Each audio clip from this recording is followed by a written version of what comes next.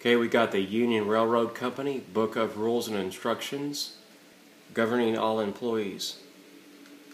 So I had to consult the employee handbook here because I have a hazmat train to move.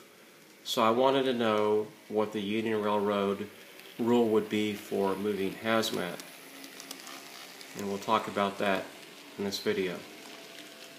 So we're going to move over to Clairton, PA where the U.S. Steel has a coke plant. Coke is coal that's heated up and it's basically changed its chemical composition into a, a lighter, lightweight rock. That's a raw material that's used in the production of steel. And we'll move over here to the chemical facility. So One of the byproducts of the manufacture and heating of coke is various chemicals. So that's what we have here at our Clairton, PA chemical loading facility. Uh, there's a variety of chemicals that are used to make other products. So they're loaded here at my scratch built facility. And moved out by the Union Railroad. In, in modern times, uh, some of it's trucked out, so we'll talk about that a little bit. You're going to see the Union Railroad crane because on a small N scale layout, the coal wharf at Duquesne, PA is also included in this video because I have a really small layout.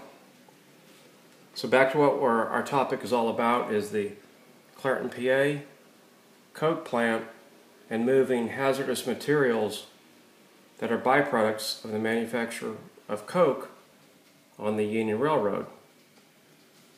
So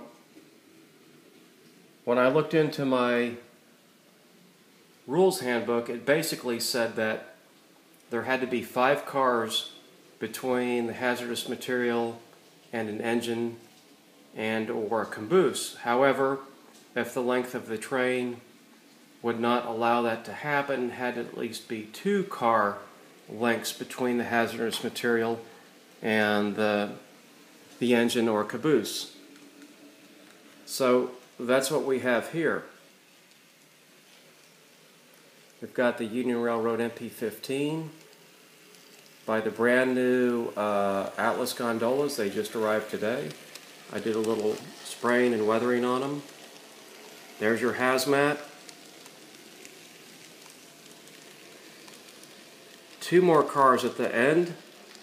Proper spacing on a short train. Union Railroad, Clairton, PA, modeled all the way down in Plano, Texas. Everybody have a good rest of the week.